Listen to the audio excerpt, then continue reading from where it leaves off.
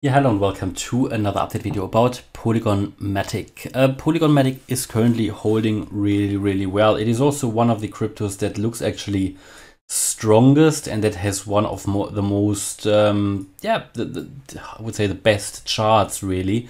Um, this wasn't always the case, yeah. Um, when we moved up here in that wave one, um, that was the first impulse. It then came down in a wave A, moved up in a wave B and came down in a wave C. This year looked temporarily, this move from wave A to wave B looked at temporarily like a bullish scenario. Yeah, there was a time where we were like 50-50. At the time, we also did some swing trading here um, on the way up and pretty much caught the high here close. But then it was over and we started to head down. And then it became quite obvious to me that we would need to land in the range between 30 and 60 cents. So between the 88.7% Fibonacci retracement level and the 78.6 because we needed to get lower than this low of the wave A. And I think this became my primary scenario in January and it looked really, really unrealistic because we were still way above $2 when I talked about a 30 to 60 cent Polygon Matic, but in the end we did get exactly in this target area and that is exactly where we are. And again, only the Elliott wave method allowed me to forecast this like six months in advance.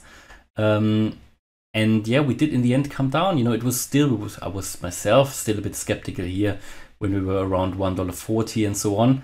But uh, that last move down took us directly into the target area. We had a bullish, well, not bullish reaction, but we had a, a reaction to this target area. And then we have been moving a triangle, broke out to the downside also as expected because this triangle was an ABCDE triangle, an Elliott wave triangle where you exit the triangle to the opposite side of the wave E. And all of that currently happened. And also this arrow here from the previous videos indicated the primary expectation and that is currently playing out. Um, we have a few possibilities how this move down can be counted. I'm now showing here my primary expectation. Um, yeah, and in my opinion, we had here similar to Ethereum, an extended wave one. We moved up in a wave two, we came down in a wave three, we moved up here currently in a wave four. And this is now where the question is, is the wave four already finished? Do we develop here something like an extended triangle? Is this something a little bit more of a complex correction? Because it's not just a three wave move. It might be something different. So there's no guarantee that the wave 4 is finished. Um, it will be very likely that it's finished as soon as we get below 39.6 cents. Yeah, and we are very, very close. So um, if we make a new swing low, it will be very, very likely that that thingy here is finished and we will make a lower low and then move further down in that wave 5. And for me, a target, a really, really logical target to finish off this overall correction would be the 88.7% Fibonacci retracement level of the Matic chart, and that is at 30.8 cents here, yeah, or 31 cents. So this is where I think is a good chance to finish off the overall correction. Um, we're getting closer and closer.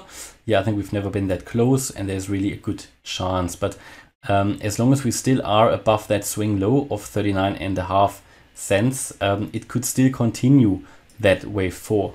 And what are we actually doing in terms of the retracements? How much did we actually retrace in this wave 4? And you can see perfectly we reached again the 38.2% FIB level, an ideal target level for wave 4. Um, should we go higher here and move even above the 38.2, then we could even get to the 50% FIB retracement at 47.5 cents. Wouldn't be a problem. Yeah, wouldn't be a problem. Even from there we could then still move down only if we move above you know 47 and a half cents. In the next few days i could think that i might need to uh, look at a more bullish scenario yeah? And that is essentially what we're waiting for. But there's no point telling you now that the low is in if we don't have bullish confirmation so we want to wait for bullish confirmation. Primary expectation at the moment remains that we're going to head lower and also that we actually make a lower low compared to the um, here below the 39.6 cent level. And we currently see here quite a bearish candle coming down at the moment. Um, just thinking what that could have been. A b c. Bit of a, a weird corrective pattern here. I'm i'm i'm honest with you. Um, this could still evolve to a triangle. We need to be a bit patient here with this with this pattern, but clearly below 39.6, 39.5, 39.6, it's going to go lower and resistance is here at 45.8 cents at the 38.2% fib level. And above that, we would still have a chance to move a bit higher to 47.5 cents in um, to the 50% fib retracement in a wave 4 scenario. But if we go higher, it might be something else. Bear in mind, at any point in time now, the low can be in here. We made we made it into the higher level target area and we made it even below the low of the wave 3. Everything I wanted and now it's really just paying close attention to any moves because um, what I think is important to understand now is as soon as we make a first five wave move to the upside, so an impulsive move to the upside, that is when with the highest likelihood the trend will change.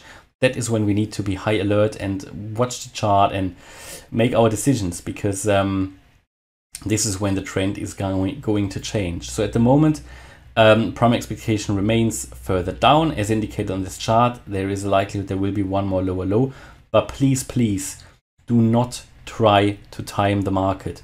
Just don't because it doesn't work. Yeah. Even the low, yeah, when the low is in, I'm not gonna able to tell you, right, we're now at the low. This isn't gonna work. Um, we have to wait for confirmation and that will be bullish confirmation after the low is in. And by the way, we're just moving below 40 cents. Um, after the low is in, only then we can really um, see how the price is reacting and we can, um, sorry, I'm paralyzed by this price at the moment as it's going down. Um, no, only then we can, we can get confirmation because we need the price information after the low to confirm if the low was in. And bear in mind, even if we even if we miss the first 5, 10, even 20%, it is still so early. I mean, we're looking here for Matic as well. Um, by the way, Matic is looking so good because it's holding still in this target area. Many cryptos already broke below the 88.7% Fibonacci retracement level, which, you know, it's not a disaster, but it's also not great. Um, and here for you just start roughly at zero, go to the high, go to the 88.7% Fib level, and a target for the next bull run would be $4.91 at least. Yeah, that is the 1.618 Fib extension. That would be for the wave three. If it is wave three, it needs to make a new all-time high. Um, then we look at this price level, yeah, as a minimum, and that would be quite a, a, bit of a move up, wouldn't it? So that's what we're looking here at for Matic. I think currently already my scenario is playing out. We'll see. Could still find support at the low, and uh, then it will extend this correction but this is now getting quite interesting. So you with by watching this video, you'll be prepared here for what's going to come. Um, by the way, also from a just like a pattern point of view, this is just something like a bearish flag. Yeah, you're coming down here from a downtrend, you're now consolidating. Maybe the market is even waiting for a Fed rate decision tomorrow, and then we have to wait what happens when the dust is settled.